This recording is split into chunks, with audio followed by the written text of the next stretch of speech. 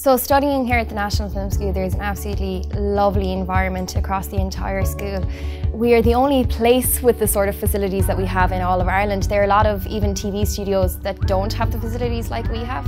Every class is only about 30 people. It kind of goes 30 to 35 people. And from day one, we are all working in groups together. So the entire time you're in college, it's like you are working in a safe environment where you know you have that support network of your class and your lecturers.